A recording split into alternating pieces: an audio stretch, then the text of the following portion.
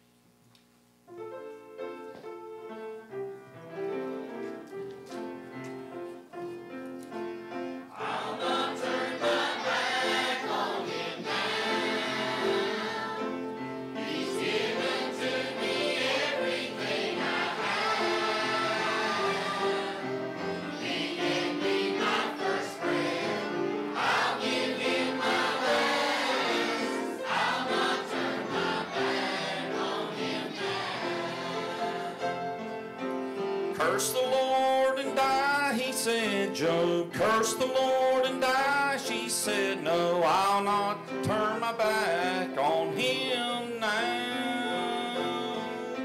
My vows were made for good or bad. He's been the best friend I've ever had. And I'll not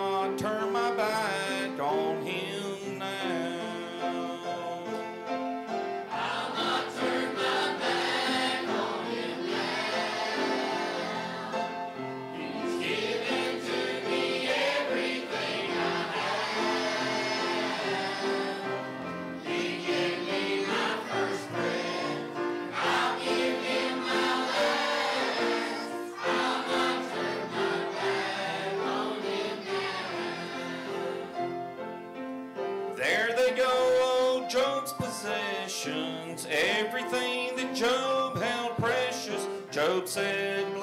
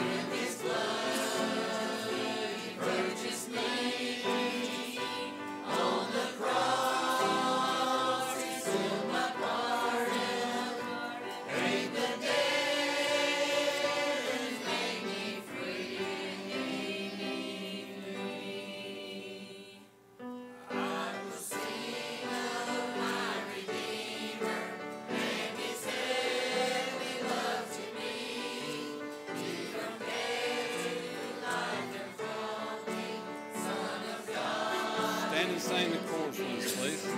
Sing, sing,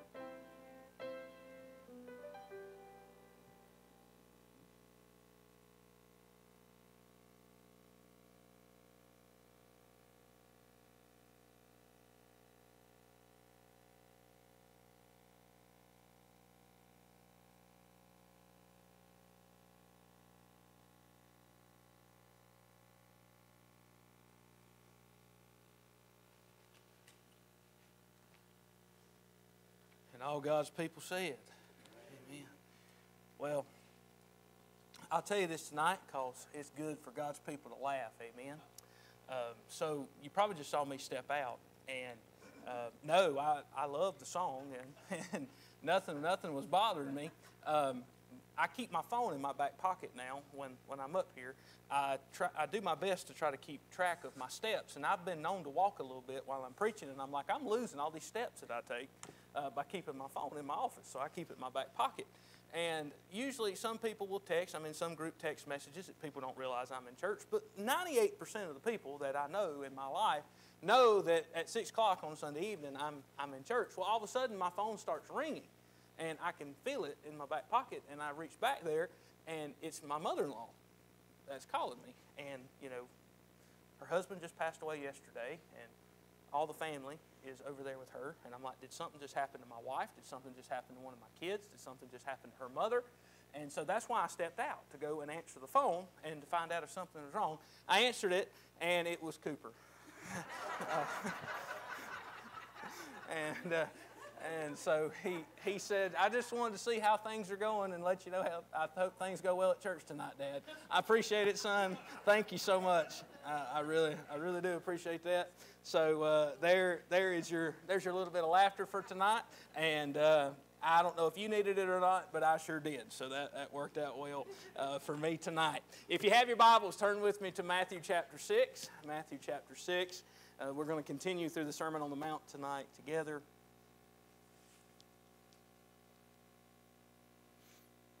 Y'all pray for Cooper because if my wife has gotten a hold of him as of this moment, he needs all the prayers that he can get, probably at this moment. But it'll be all right. Matthew chapter 6 tonight. We're going to be in verse 13, but we're just going to read part of the verse and dive in the thought that I believe God would have for us tonight as we continue um, through the Sermon on the Mount together. Uh, so, Matthew chapter 6, we're going to begin reading in verse 13. Again, we're just going to read the first part of the verse tonight. So, you won't have to stand very long at all. But if you found your place and you will and able, would you stand in reverence to the reading of the Word of God? Uh, Matthew chapter 6, and we're just going to read the beginning part of verse 13. The Bible says this, and lead us not into temptation, but deliver us from evil. And may God bless the reading and the preaching of His Word tonight. Uh, thank you so much for standing. You may be seated. Uh, as we look tonight, we are going to continue through the Sermon on the Mount. And we have been doing this over the past few Sunday nights now for the past few months. And we know when it comes to the Sermon on the Mount that the Lord Jesus Christ, He is now preaching and teaching to the multitudes. You don't have much pinned down prior to Matthew chapter 5 of the Lord Jesus Christ and His speaking. Um, but the Lord Jesus Christ is now taking his place and he is now preaching and teaching to the multitudes. Why he would start with the Beatitudes, and they always start with blessed are, and they always end with a promise. Christ would then move on to the topics of salt and light. I agree with the commentators that those are for the believer because it's really, really hard to be salty and to be the light of the world if the capital L light has not taken up residence in your life. So I believe those are for the believer tonight. Christ would move on to preach and teach concerning the law and righteousness. He said, I did not come to destroy the law, but I did come to fulfill it. He spoke of righteousness, and that would have resonated with the multitude that he was preaching to. Because at this very time, he's preaching and teaching to people who are trusting in their own good deeds, they're trusting in their own righteousness to merit them eternal life. They are trusting in their good works. They're trusting in their ability to follow the law. That is what they're all about in their life. And Christ would say this Your righteousness must exceed the righteousness of the scribes and the Pharisees if you're going to be able to enter into the kingdom of heaven. It is very key noted that righteousness is not an attribute, but it is a person. And his name is Jesus Christ. Going back to the law, Christ would tell them, Ye have heard it said of old time, but I say unto you. And Christ would preach and teach concerning different topics that were prominent, and prevalent during that time, and they're still prominent, prevalent today. Topics of murder and adultery and divorce. Why Christ would say, Ye have heard it said of old time, but I say unto you, speaking of people that would take the law and take it out of context and they would just take little bits of it and they would apply it to their life and they'd leave the rest off. Doesn't that sound like today? People take a little bit of scripture and they apply it to their life and they want to drop off the rest of it and say, No, I don't want that. I just want that little snippet so I can validate my lifestyle. Why? That is exactly what the Sadducees would do. And as Christ is preaching, he's saying, You've heard it said, but I say unto you, this is how things are done. He would end chapter 5 telling them, Be ye perfect, even as your Father in heaven is perfect. Chapter 6, he starts condemning this topic of externalism, doing the right thing on the outside, but with the wrong inward motive. Christ would use two topics of prayer and the giving of alms, and we would find a term that he would use here in chapter 6, and that term is hypocrite. He'd say, Do not do as the hypocrites do. Why? They were doing it just for manly reward, they were doing it just for a show. And Christ said, They have their reward. They have exactly what they are going after, but it's just a temporary reward. This life is very, very temporary. It's here for just a moment and then it's going to vanish away. They've got a temporary reward. Do it for your Father which is in heaven. And I just want to re- remind you tonight, I put this in my notes, notes. Remember, God looks upon the heart. Nothing is hidden from Him. God knows our motives. God knows the desires of our heart tonight. And so He knows if you're doing it for the right reason or for the wrong one. We have been in the Lord's Prayer now for the past few weeks, and you can find the Lord's Prayer in verses 9 through 13. And last time we were in verse 12, and as I said last week, I, I believe this is probably the most difficult part of the Lord's Prayer. It's really, really hard for Baptists, that whole forgive us our debts as we forgive our debtors. It's very, very hard because it is natural for us to be prideful individuals. We hold on to things. One of the things I think a lot of Baptist churches put down as qualification to get in is you got to have some bitterness in your heart somewhere because it seems like people harbor bitterness and they hold on to it, and Baptist churches are just full of it. But if we're going to look more like Jesus, we're going to have to forgive because we've been forgiven. and when we realize the great debt that we owed, and we realize the forgiveness that was granted to us, it ought to make us more willing to forgive others when they trespass against us because nobody has trespassed against us like we've trespassed against a thrice holy God. Let's look at our text tonight. We're just going to be in the beginning part of the verse. Bible says, And lead us not into temptation. Lead us not. Notice that word lead. That entails that someone is leading and someone is following. There's a thing that is in our preschools and also, and probably in your kindergarten, maybe first, second grade classes there's always that distinction, and my kids were always excited when they came home from preschool, and they got to be the line leader for the day. That was always a big deal. I got to be the line leader today, Daddy. And I said, Well, what does that entail? Well, that means every time we lined up to go somewhere, I got to be in the front. And that was a big deal to them. Friend, it ought to be a big deal to us who is leading us.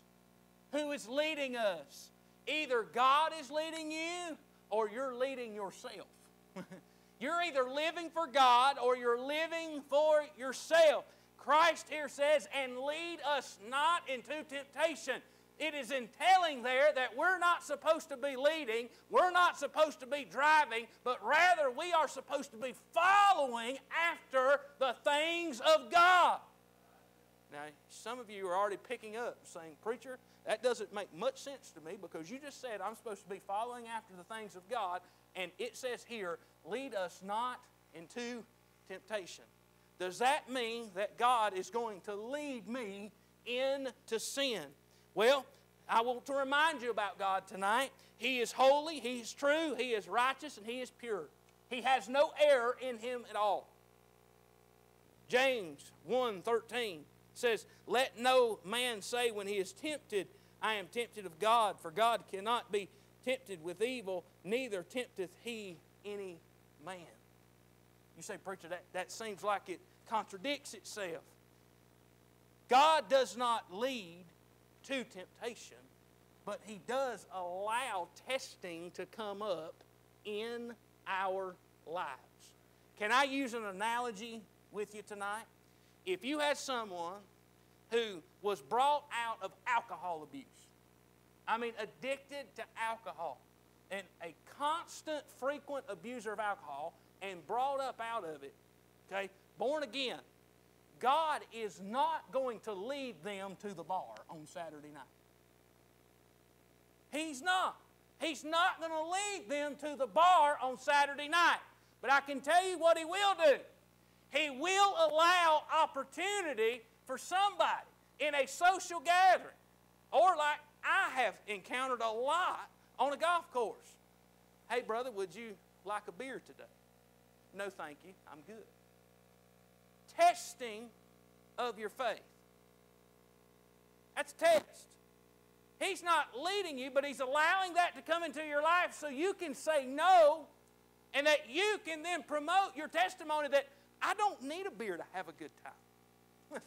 I don't need, you fill in X, Y, and Z. Okay? Any of these things that the world has to offer, God's not going to lead you to it, but He is going to allow the testing of your faith, and for you to be able to say, No, I belong to Him and I don't desire that anymore. For us as Christians, we should desire that we avoid sin. Avoid sin in our life. We should not be toying with it. We should not desire to just be around the fringe of it. It should be a desire for the child of God that we be avoiding ridden of sin, not even coming in contact with it. Why? Because sin doesn't make us look like Jesus. Sin doesn't make us look like Jesus. But we live in a sin stricken world, do we not? These teenagers and these kids. Us that are a little bit older, we can remember a day and time where it seemed like we had to go look for trouble. They don't have to look for it trouble comes and finds them with a click of a button on the internet, with the turn on, with the, just the turn of the power button on the television. I mean, with those little bitty devices that we hold in our hands, it seems like trouble can find them very, very quickly. When I was a youth pastor, I was amazed at what my middle schoolers were hearing about and what I was having talks with parents about of middle school age children that I didn't hear about and I didn't have to encounter until I was in college.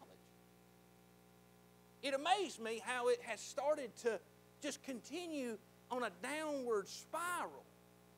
And now I look at my children and how quickly they're growing up, and I'm thinking to myself, my goodness, how, how much more do we have to pray a, a hedge uh, about our children and our grandchildren because the devil wants our children and our grandchildren. And the devil wants our testimony. How does he do that? He gets us to fall into sin and ruin our testimony.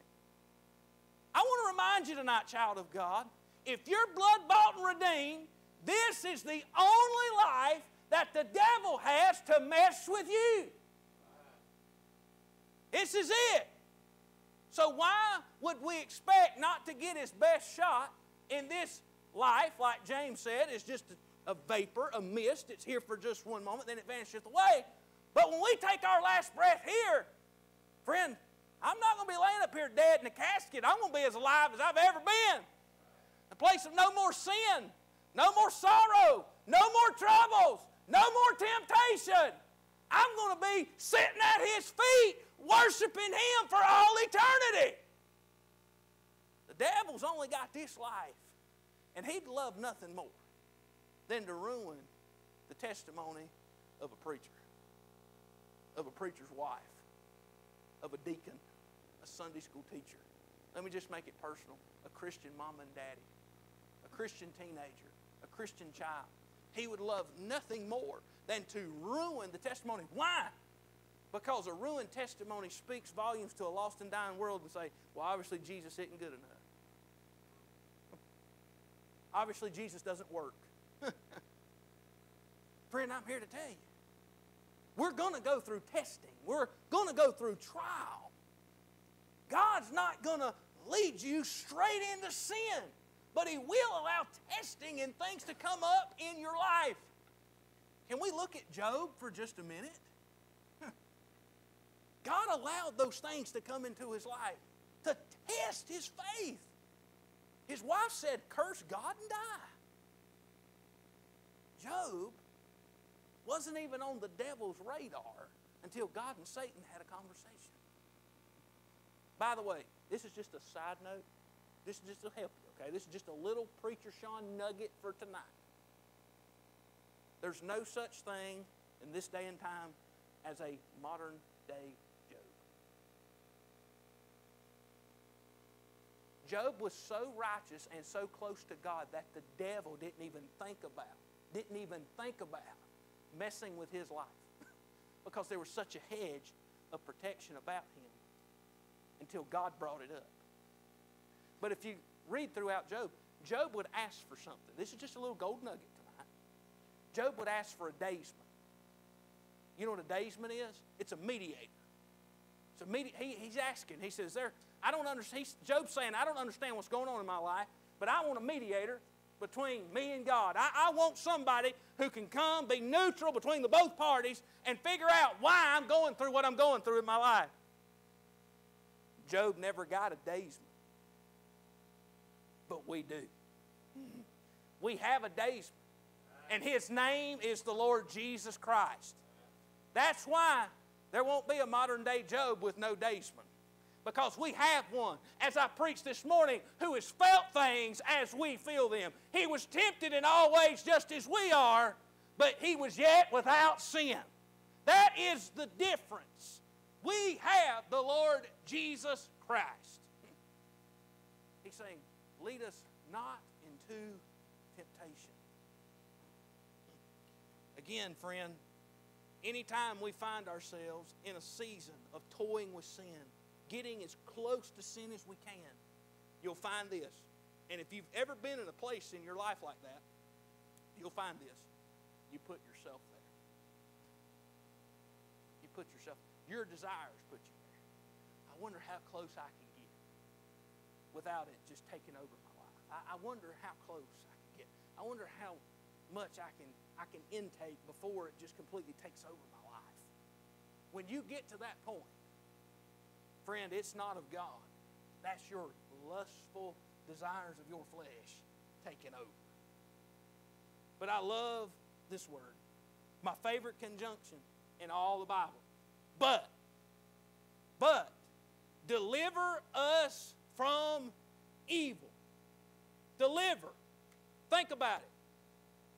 I put two things in my notes about deliver. Number one, If you are in need of being delivered or having something delivered, you can't deliver it yourself. You can't do it on your own. Somebody else has to do it. Number two, when it comes to being delivered or having something delivered, someone else takes the burden off of you. Can I use this analogy tonight? My wife loves some Amazon Prime. All right? And I'm thankful for it because there are times we get in a pinch with things around the house, and that whole two day shipping, if they, if they come through on it, it works out really, really good. But here's what she does she tracks those things. And I mean, it, she, it's like an impulse thing. She's always tracking. And she's seeing where it's at and why is it going that way and when's it going to get to the house and when's it going to get to Greenville and why is it just now getting in Charlotte and why is it still there? She's watching it, watching all these different things. Here's the thing Amazon delivering whatever she ordered to my house takes the burden, takes the burden off of me. I don't have to go get it. I don't have to go find it. Some of you men help me preach. We ain't got to wait 10 hours in the store to try to look for it. it can come straight to the house. And we can sit there and watch football and take care of things around the house and check our trail cameras and do all this stuff. All while the package is being delivered. It takes the burden off of us. Can I get an amen in the house? What about delivering something that you can't deliver on? Whew. There have been things in my life that I can't deliver. I can't come through. I can't do it. I'm very, very limited. But somebody else sure did come through. Somebody else took it upon themselves to do it and did it well. because if I would have had to do it, I'd have made a mess out of it. I can't help but think tonight of all the times in my life when I was going through circumstances and I was going through things, only for God to send somebody into my life that had the proper expertise and the right knowledge at that moment to take care of something that I had no clue about. And I can't help but think about a spiritual sense tonight when I couldn't save myself, when I couldn't help myself, when you couldn't help yourself, you couldn't save yourself, you couldn't deliver yourself. You could not turn over a new leaf. You could not get out of the mess that you were in. That's when Jesus came by your way. And he said, I am the remedy. I am the capital D deliverer. I specialize in delivering, and I'm always on time. That's our God tonight. He specializes in delivering. Hey, He'll deliver when nobody else can. And He'll take a burden off of you that you can't bear. Listen to me tonight. Deliver from evil. This is very simple, but I pray it helps you tonight. If you're being delivered from something, that means you're having to be brought to something. I can't be delivered from this amen corner because if I'm being delivered, I'm being brought away from it, correctly? Correct? I'm being brought away from it. I'm being drawn away. I'm being picked up and carried from this amen corner. I can't, am I just going to go aimlessly? Am I just going to wander about? No. You see, there's going to be another destination that I'm going to be delivered to. I'm delivered from something, but I'm delivered to something. Friend, I'm here to tell you God specializes in delivering from evil, delivering from sin. But the further away that you get from sin, who's the one that's pure, holy, and true, and righteous, and there's no flaw in him at all? None other than our God Himself. And so the further you get, from evil and being delivered from evil, the closer you get to Him. Friend, I'm here to tell you tonight, you're as close to God as you want to be. When it comes to you looking like Jesus, if you're blood bought and redeemed, you're looking like Him as much as you want to. You see, we still got the free will. We still got the choice. Do we want to just be, oh, well, this is far enough? And we feel like we validate ourselves while God's all the way over there. I don't know about you, friend, but I want to get far away from here because I've learned this. Every morning I look in the mirror, I see myself and I know who I am, and God knows me better than I know myself, but I know myself pretty well. And I can tell you this every day I need to look more like Jesus and less like Sean McKaig. And the closer that I am over here, the more I'm going to look like Sean McKaig. Now, I may have a little bit of evidence of Jesus, but there are going to be times when somebody's just going to get on my last nerve. Somebody help me in the house of God. Somebody's just going to get on my last nerve. Somebody's going to push that last button, and somebody's going to do this or that. And all of a sudden, I've been working on my temper, and my fuse has got a couple centimeters longer, but it's still short. And all of a sudden, somebody lights that thing. And all of a sudden, I'm, I'm real close to letting them have it, as we say in the South. But the more that I'm over here and the closer I get to Him, the less I desire to be over there. The more I will desire to have a pure avoidance and riddance of sin. God, I don't even want to look at it. God, I don't even want to be around it. God, I don't even want any evidence of it in my life. God, I don't even want to look at it. I don't even want to hear it. I don't even want to taste it. I don't want to be around it. I just want to be all about it. When He delivers us from evil, He's delivering us to Himself. God is the opposite of the evil. And I just came to remind somebody tonight He's still a God that delivers. He's still a God that delivers. He has not changed. He has not changed. He's still delivering today. And Amazon Prime, and UPS, and FedEx, and the great United States Post Office has nothing, nothing.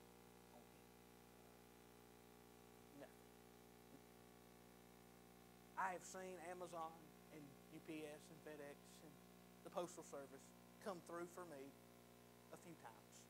In my life. Anybody want to raise a hand tonight for the times that they didn't come through for you? Yeah. My wife loves to send those complaints back in. Most of the time, that equals what you ladies like to call free stuff.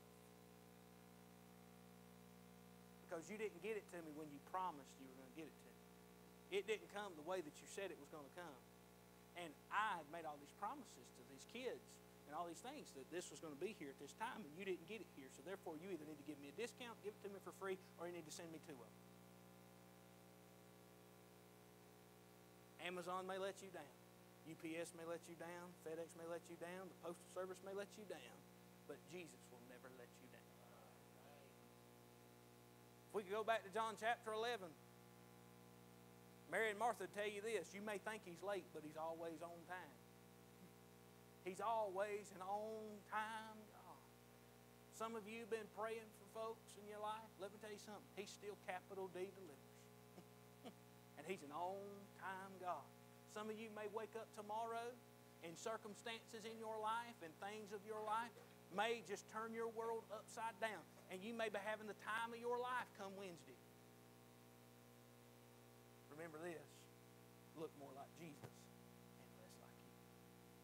because that crowd, that multitude that he's preaching and teaching to, they all about me, me, me. They all about me, me, me. Jesus says. Need to get our eyes off ourselves. Let's get our eyes on Christ holy God. That's who our focus needs to be on. Lead us not to temptation. We ought to have a desire that we're not going to be around sin at all. But when we're tested, when our faith is put to the test, let us give an answer that we may glorify God and let a lost and dying world know that that's not who we are.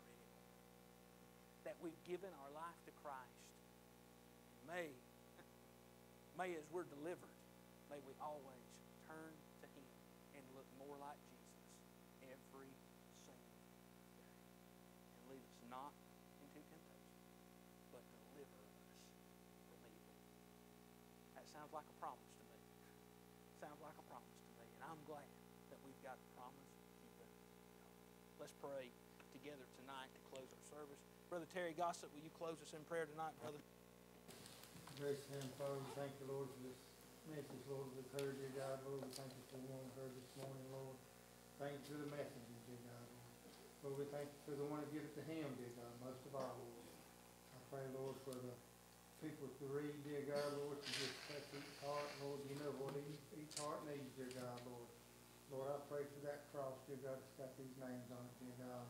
Lord, on it, I pray, God, that you'll just uplift them, dear God, Lord. Start convicting hearts, drawn to you, saving them for it's too late for them, God.